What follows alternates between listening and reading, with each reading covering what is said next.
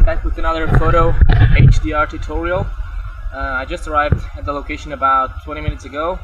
I managed to cut myself uh, when I first got here because there are a lot of uh, slippery rocks right here. Uh, let me show you where I'm at right now.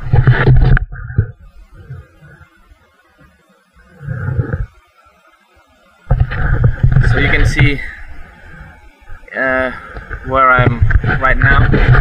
Exactly the same area where I was last time when I made the underwater uh, stock photos video. Uh, I told you that I will come back, so here am I. And well, uh, when I got here, I just took my shoes off and I cut myself in one of these rocks here. Well, I'll put a photo there. It's a bit nasty, uh, so well, uh, here's the camera that I I'm using the new 70 the Nikon D7100. Uh, I just got it a couple of days ago, and this is actually the first uh, pictures that I'm taking with it, and I have it here on a tripod. I'm shooting with a wireless Phottix remote. you can see the remote right here. That's the remote there mounted on the camera uh, I'm using the bracketing mode. Let me show the settings that I have on the camera right now.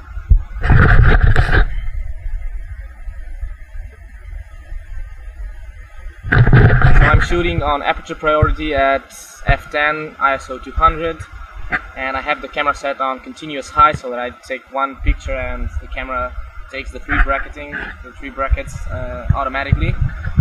I'm shooting at a 2 f-stops of difference for each bracket. And well I'm hoping to get some nice uh, landscape images you can see the water here. I'm using also uh, Hoya polarizing filter. And that's just to reduce all the uh, all the reflections on the water. I'll show you that on the video. I'll record a video so, just so you can see what the polarizing uh, filter does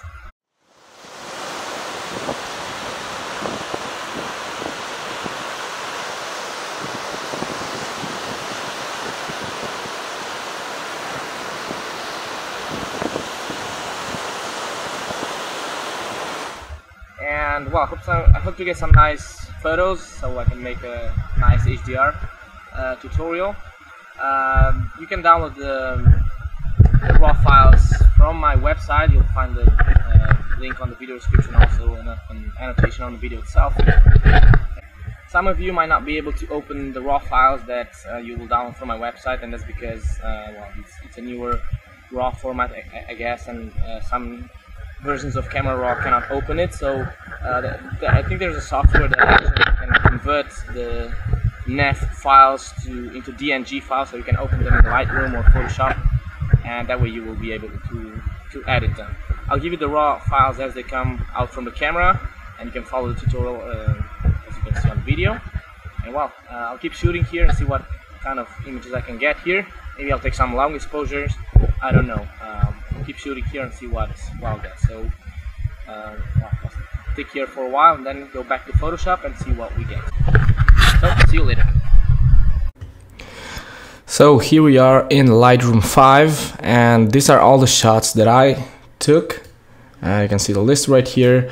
Uh, pretty much all of them are bracketed uh, shots for HDR because that was my that was the purpose of my visit here to this beach. And these photos were taken on the beach of Almadrava. You can see right there. Uh, this is a nuclear power plant, actually. And um, it was a nice location, and well, I knew I could get some nice images here. And for this tutorial, we will use, uh, well, I already selected the image that I want to use for this tutorial, even though all of them are pretty nice. This is actually uh, a nice image as well. You can see the overexposed, the evenly exposed, and then the underexposed. I used the ND filter, which uh, you can see the vignetting here. So I will discard this shot. And this is the long exposure uh, shot that I took. I just took a couple of them, and I actually edited this one just to see how it uh, came out. This is the the original image. Uh, let me hide this okay. Um, so you can see how uh, the image looks like and I converted this into black and white. So um, I will go to the folder and select the images that, I, that we will use for this uh, HDR tutorial. And I will use uh, Photomatix 5 but uh, you can use other software if you want to. Uh, let me let's disable this and uh, well let me go to the folder and start editing the HDR photo okay so uh, here we have the three images that we will use for this um, HDR uh, tutorial and these are the three shots that I that I took. This is the overexposed, the underexposed, and the evenly exposed photo. And what I will do is open Photomatix 5, and all you need to do is, well, you can choose load bracketed photos. Since I already have them here, I'll drag them right into Photomatix. I'll choose merge for HDR tone mapping and fusion. Click OK, click OK, and you will get this new window. If you have Photomatix 4, I think this is a bit different. Um, but wow I will not align source images because I took this on a tripod even though you can choose this and uh, select taken on tripod uh, well let's actually leave that maximum shift we'll leave 2% because I know I know uh, there was up pretty much no movement there. I shot with the wireless uh, control so maybe just a tiny movement from the camera but I don't know. Uh, I would normally uncheck this uh, crop line images. Will leave that on. We will definitely want to choose show options to remove ghosts. Um, I also want to reduce the noise. Um, usually I choose all source images or normal and underexposed because those are the images that usually have more noise on them even though I think I shot at ISO 200 so we shouldn't get too much noise but when you're when you merge this to HDR you will always get noise so select this. Um, I also I will also check reduce chromatic aberrations because I know this lens usually gives some chromatic aberrations but anyways we will check that. Leave, leave everything here as it is. Let's choose Adobe RGB and click align and show deghosting options. And well let's wait for Photomatix to do its job. Okay, now uh, we are on the deghosting options window.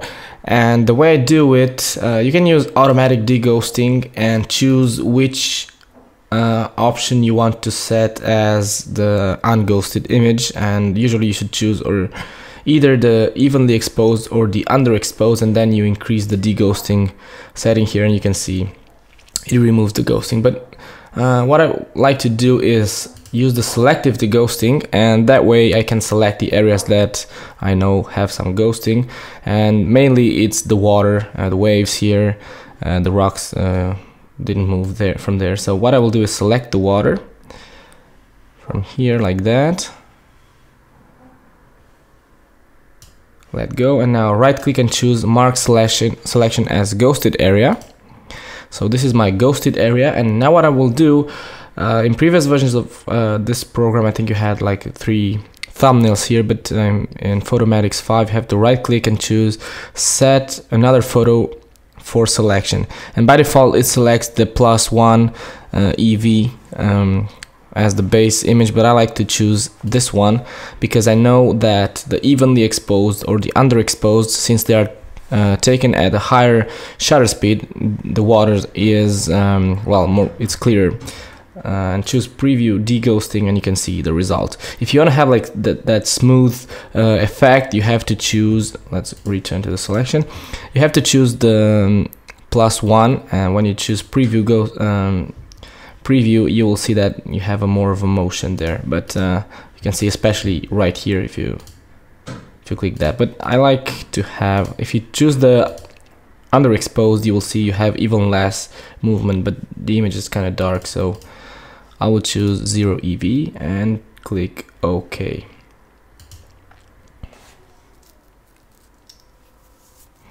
Now Photomatix will merge the three images into, well, we'll merge them to HDR. And we will start working from here to make our base image. And then we'll go to Photoshop and finish the image there. And then you can even import that in Lightroom but uh, wow so this is the result that Photomatix uh, gives us. Uh, usually what I do when I get here is start taking well looking at the image. Uh, I can see right here some really awful uh, well problems here with uh, chromatic aberrations it did not remove that really well. I will see how we can fix that. Um, then on the highlights you can see we have a lot of noise even though we reduced the noise but uh, we will reduce the noise further in Photoshop. Uh, here on the details uh, we have some color noise especially here um, and some uh, chromatic aberrations there. Well all in all this is well the the default result that we get. Uh, if we click default we get less of a of a of an effect so we will start working from here. I will not explain in detail what each of this uh, slider does uh, but well I will use the tone mapping and using the detail uh, details enhancer. Start with the default and usually what I do is crank up the strength to the maximum and then work uh, my way down to all of these options here. Uh, color saturation usually I don't go past 60 or 65 because I don't want to have that oversaturated look on the image. I don't like that. I'm more I'm looking more for a for natural um, looking image and the saturation you can always pump that up in Photoshop. So I will leave it to about 65. Tone compression is just like the luminosity, so you can add more light or reduce the light on the image using the tone, tone compression. Uh, I will leave it here because I will work with the detail contrast. Uh, if you decrease the detail contrast, you can see, well, you get less of a contrast on the details. Uh, if you take a look here at this uh, preview, if you increase that, looks like the image gets darker, but it's, well, just because of the contrast. So what you can do is play with these two sliders and also with the lighting after that depending on if you want more contrast or more light and softer look. So uh, with the lighting options, I will not check lighting effects, the lighting effects mode. Um, with this slider, what you do is if you set it to negative, you will get a more unrealistic effect and usually you will get more light on the foreground than on the background. And if you set it to positive, you will get more of a closer to the original look of the evenly exposed image. So you can see we get more of a natural effect. So I usually leave it about three, four, five, depending on what you're looking for. If you want to work with the lighting effects, um, what you do is select natural, natural plus, and the more you go towards the medium, well, towards the natural, you can see, as I said, you get more of a natural looking uh, lighting because, well, the source light is here and the closer you got to uh, you get to the foreground the less light we have because it's cloudy out here. So uh, if you took if you select surreal or surreal plus you get this sort of a nasty looking effect that I really don't like. So I will uncheck this and leave the slider maybe around one or two and have an, an even light on the foreground and on the background with the smoothing highlights, you will see that, especially here, if we increase this, you can see we get um, a smoother transition from the highlights to the darkest areas, to the darker areas. Uh, with the white point, what you do is, well, set the white point. You, when you work with this slider, uh, what I usually do is select an area where I see I have highlights, like for example here, and see this part here, uh, or this one here, when you increase this you don't you want to make sure that you're not burning out the, the highlights there. So select a, an area where you have highlights and move the slider until you see you start to lose detail there on those highlights. About here you cannot judge uh, that really well right here. You can see here it looks like we burned the highlights but if you click on it you will see that we actually have detail there. So um, use the this loupe information here that you get when you click. Um, the black point is the same. You get the you will make the image darker, especially on the shadow. So we will leave the black point to zero. And with the gamma, what you do is well play with the lightness on the image. You don't want to have something like this, but you don't want to have something like this either. So uh, look for a for a middle point there. I'll use a positive value 0.78 just to have a bit more light there on the shadows and overall on the image. Always check the highlights and the shadows to see if you lose details there. You can also view the histogram if you want. Uh, I don't think it has a clipping warning here I don't know. And well uh, pretty much done here. Um, let's see what we do with the temperature. Uh, it was getting uh, dark actually uh, a lot a lot quicker than I expected so uh, a more realistic uh, temperature would be a cold one. I would have this um, stormy clouds here. Uh, so, well, uh, the, the highlight saturation, I don't want to pump it up too much because uh, you will start to get some bad color casts and I don't like that.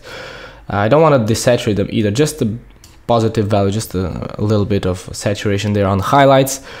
And on the shadows, uh, you don't want to desaturate that because you will start to see really ugly effects there. So uh, I'll probably leave it just like the shadow highlights, about one or something like that.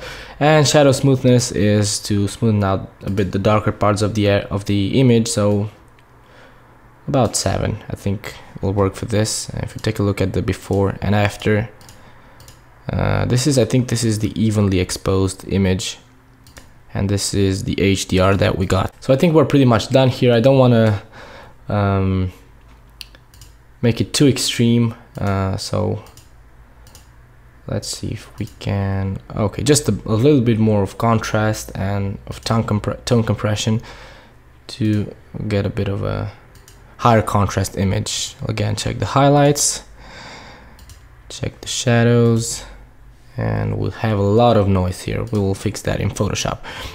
So we're done with the with Photomatix. It's pretty quick once you know what you do.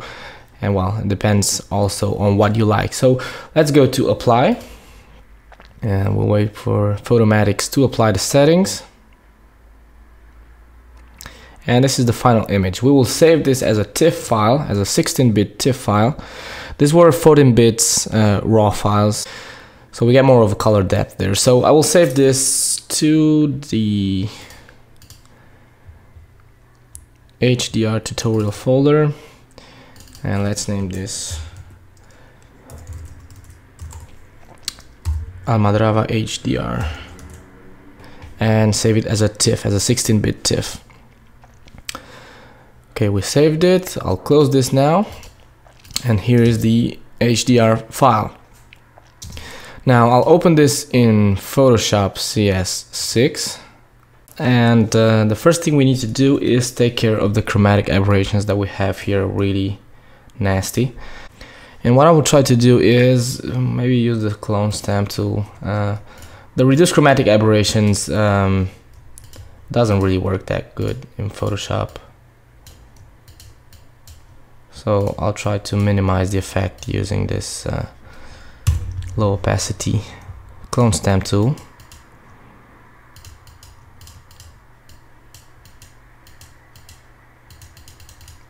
Okay that's a little better. We have a lot of chromatic aberrations here on the rocks as well. Uh, oops. See that? And I tried to fix it with uh,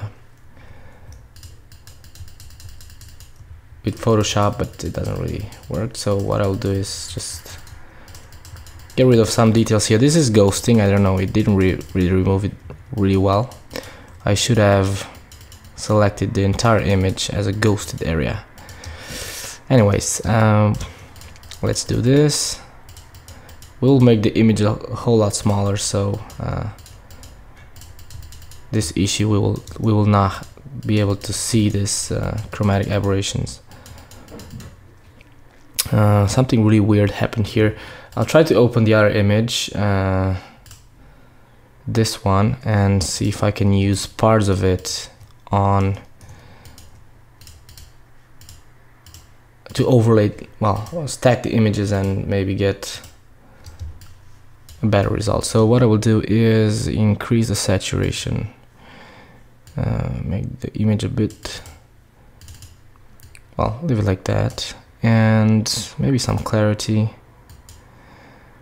a bit more lights on the shadows. And let's I'll press the shift key just to open object and that way um, that way I will open as a smart object. So let's well actually I'll have to move this to the other I'll have to move this to the other document so I'll press and using the move tool click and drag this over top Okay.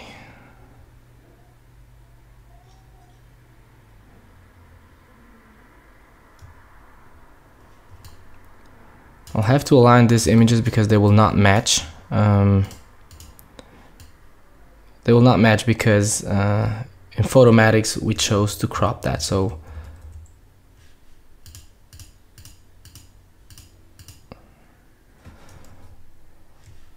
we cropped the images when we aligned them. So let's go to this area. It's a lot easier to align. one pixel lower and we're good to go okay and now what I will do is maybe try well increase this um, increase the opacity create a layer mask an inverted layer mask so everything is black and we'll reveal areas from here to try and hide this chromatic aberrations that we have here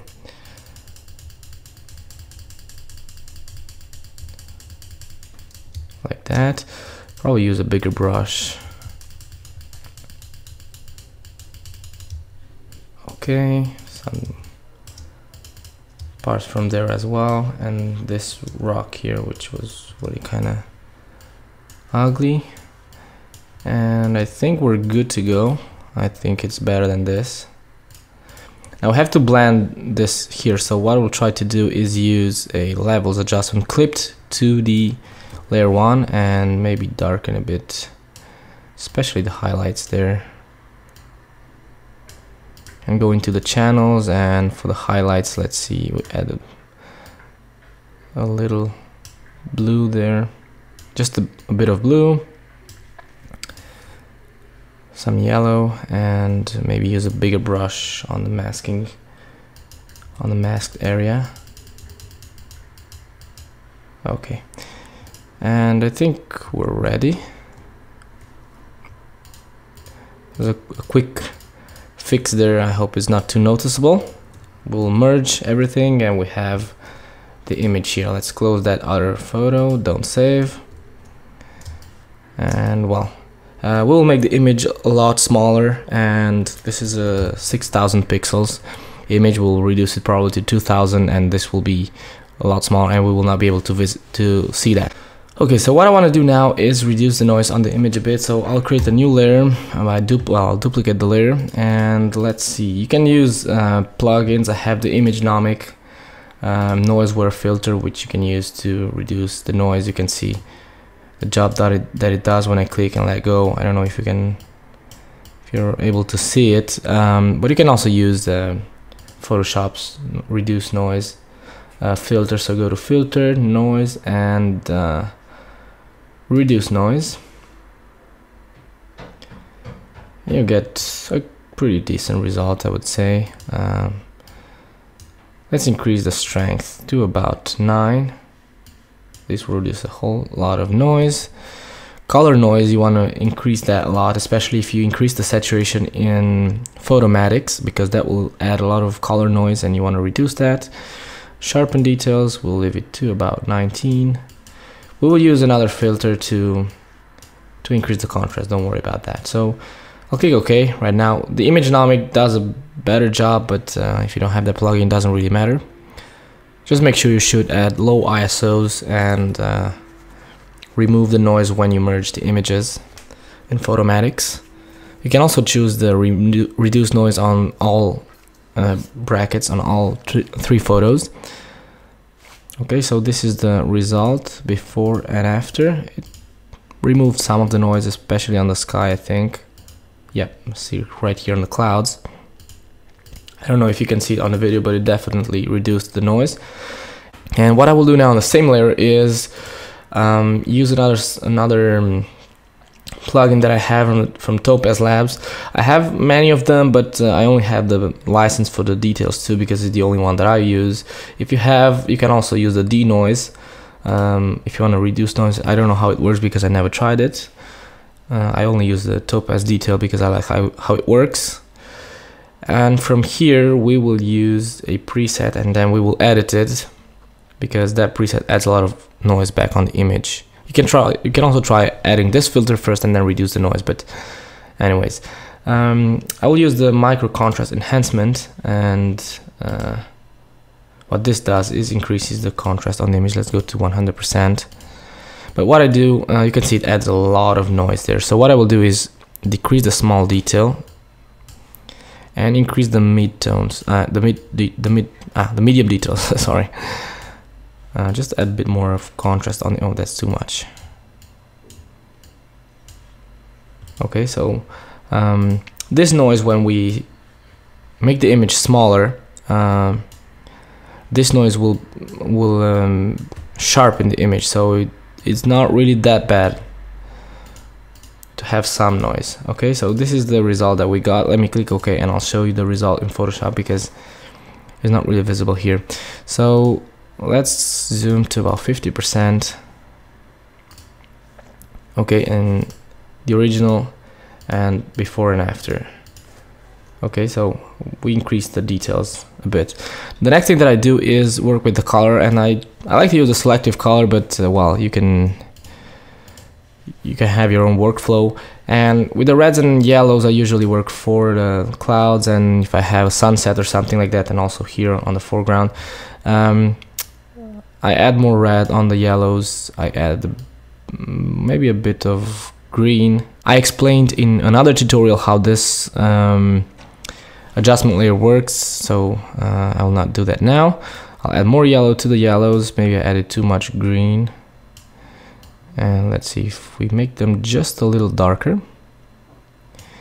And then go to the reds and see what we can do with the reds. Just a bit of cyan. A bit of red. Some blue. And let's see if I don't want to make them darker. You can see have too much red too much magenta there so probably pull back on the magenta and add a bit more of yellow. But now the yellows are too green so I will add the magenta to make them oh well add more cyan no. More magenta. And a bit more of blue. Before and after. So we kind of added a bit of a red tone to that. Okay now let's go to the cyans and the blues which will mostly affect the sky so maybe a bit of sand to make it a little more greenish. A bit of magenta. And more blue by reducing yellow. And let's see what we do with the tones. I'll make them just a little darker. You can see by using this uh, adjustment we also add a bit of saturation on the image. We can saturate the colors separately. You can also do this in Lightroom. Uh, if you don't want to mess with the color here you just want to reduce noise and add certain effects you can do that and then once you're in Lightroom you can you have this uh, let me show you that. On the develop module you have this HSL uh, which allows you to change the saturation uh, of certain colors in particular see that or the luminance to make them darker or brighter and you probably a bit better than in Photoshop but I will work here. Then go to the blues and do the same add a bit of red just a touch bit of green not too much and I don't want to add yellow I want to add blue. But in that case I'll add just a little more green. And slightly darker to increase a bit the contrast. And you can see also it also affects the water here. Okay so let me show the before and after that I what I did with this adjustment before and after. Just increased a bit the saturation on the whole image and increase the contrast. I would not mess with the tones with the whites neutrals and blacks. Uh, with the neutrals I would probably see this part here the grays are a little red so I would probably add a bit of cyan on that. Not too much because as soon as you do something here you can see kind of makes the whole image look crazy so I don't want to touch that too much. And let's continue. The next thing I would probably add is a gradient map and I will choose black and white. And select the blend mode from here like soft light to increase the contrast a bit and reduce the opacity. See that? To 22% we increased the contrast just a little bit. And if you want to add a create a sort of a split tone effect you can use curves and go into the channel I'll select the blues and rise this just a little to add more blue on the shadows and if you lower the top part you'll add more yellow on the highlights. So you can do something like this or you can do a typical S curve like this. See that? And let's try the same on the reds. But this one let's try it differently on the opposite way I don't really like it so I'll probably leave it how it was. And now decrease the opacity to about 50% just to give it a different touch to the image. You can also add vignetting or you can use other things but I don't want to overcharge the image. I like how it looks right now. Uh, the color lookup also can give you nice results um, but as, as I said I want to stay as realistic as possible. So you can try different tones uh, late sunset and then well play with the opacities and get all sorts of tones on your image. Red blue yellow. Let's see how this looks. Yeah this one look look pretty nice. I'll actually leave this here because I like how it looks. Well so this is the um, image edited in Photoshop. Let me show the original. We started from this and we ended up with this so I didn't do too much of a change. I didn't want it to so I I like more natural results here. So what I will do is now make the image smaller about as I said 2000 pixels. And take a look at the image. We have detail. Those uh, chromatic aberrations and stuff there are no longer visible. Neither the ones that we had here or on the rocks. That's why it's nice to work with high resolution images I didn't clean the image at all. I didn't use the clone stamp to remove anything. I didn't have any uh, dust spots on the camera. It's new so I shouldn't. And right now I will save it as a TIFF file. And I will go to Lightroom just to show you a few things that you can do there if you want to but uh, it's not necessary. Almadrava PS just to know that this is edited in Photoshop. Click OK and I think it's already saved let's go here and yep this is the image let's open it with Adobe Lightroom if I can find it. Well, actually, I'll drag it here. Library, let's see if I can do that. Yep. Let's import that and go to the develop module. And this is the image that we got. As I said, uh, you can use gradients here. Uh, for example, I can do something like this. a bit smaller. And now I can edit the contrast and everything that we have here just on the top part. So I can decrease the exposure uh, sort of like a, like an ND filter. Uh, I can choose well increase the clarity. Let's see the clarity just to add more of a contrast on the sky um, increase the saturation. Maybe I can add a color to a color cast to this. Um, something like this. And well increase the sharpness everything that you have here. So uh, change the tint of the image make it dark make it colder or warmer. Let's click done and go to the split tone effect. So this is another effect that you can do which is quite nice but well so for the highlights we can give this uh, yellowish tone and then select shadows and give this other tone to the shadows and then play with the balance. But this is something I don't really like uh, at least for this image. So I'll deactivate this. Uh, what I was talking about the luminosity uh, the luminance saturation here uh, said you can you can do that from here. You can change the saturation of these colors independently. So I can increase the saturation. Well we don't have any greens here but uh, for example the aqua which is this blues and the the blues I can make them more saturated or desaturate them. So it's really cool and it's easy.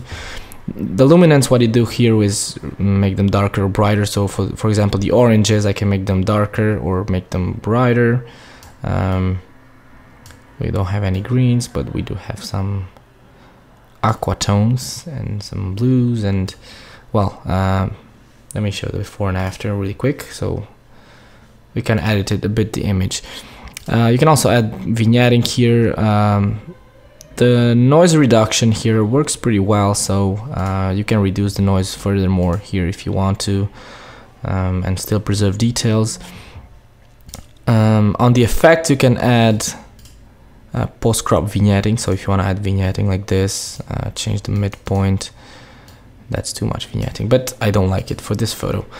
I uh, like how it looks so far. So this is the end result that I would uh, keep. Um, I like how this looks right now as it is. So, so let's see if I can find the other image and show you the before and after uh, library. Um, let's well actually let's go to the finder and show you both images. So this is the photo that you would get with your camera and this is the HDR okay so uh, quite a big difference. Uh, this is why I like HDR photos. Now you can make crazy HDR effects but I don't like those. I like to stick as natural as I as possible and even this is a bit too saturated but still a great uh, a great image. So uh, that's all for now. I hope you liked this HDR tutorial. I'll make more um, and I'll go out and take more photos and I hope you will like them. As I said uh, you have the raw files on my website and until next time I'm Andrei from PSD Box. Thanks for watching and see you next time